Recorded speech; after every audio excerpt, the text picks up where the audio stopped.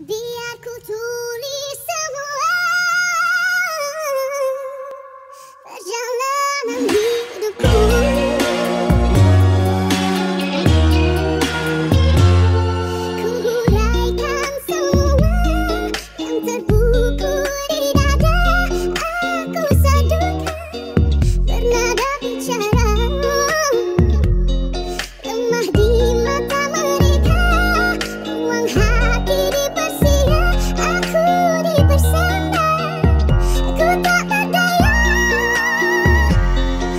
janji kembali dan cinta Terkabur di belayan manja Yang kusangka rupanya tersimpan rahsia